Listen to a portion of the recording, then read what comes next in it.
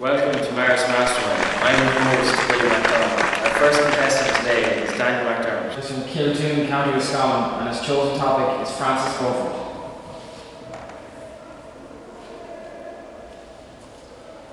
You have 60 seconds on the clock, and your time starts once I finish the first question. When was Francis Beaufort born? The 27th of May 1774. When did Francis Beaufort die? The 17th of December 1857. Where was Francis Beaufort born? Navan, County Meath. In what year was Beaufort knighted? Uh, 1848.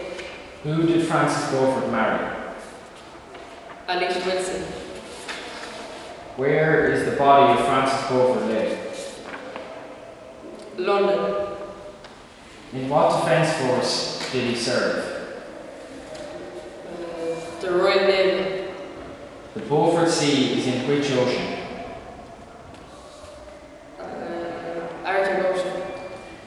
What is the most famous thing that is named after Beaufort? The Beaufort Scale.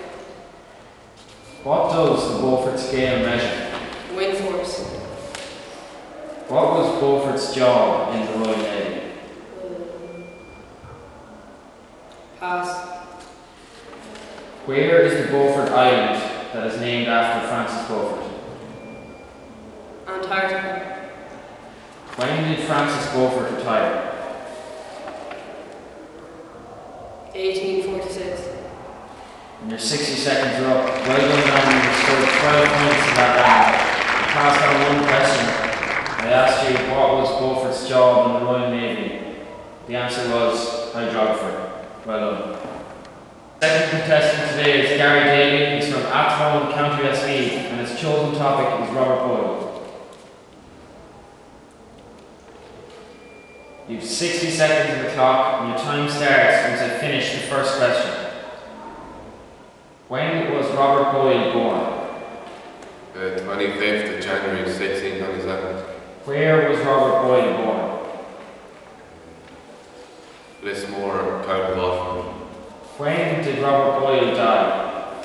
The 31st of December 1691.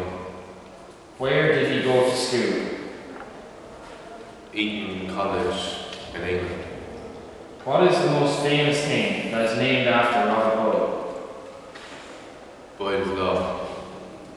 What is Robert Boyle's middle name? William. Which Italian astronomer was Boyle influenced by? Galileo.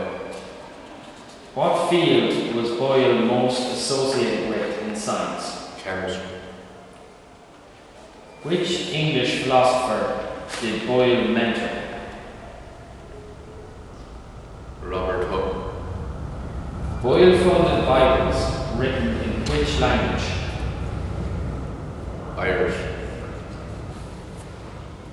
Boyle's law states that the pressure of gas increases as the what of gas decreases. Volume. What field is Boyle's Prize awarded in? Pass. Who is the holder of the Boyle Award? Eric Baker. And your 60 seconds are up. Well done, Gary. You what field is Boyle's Prize awarded in. The answer was analytical science. Well done. That's the end of our show. Nothing could separate our two contestants today. It was a draw 12 all. Well done to both contestants. Thanks for watching at home. Stay classy, San Diego.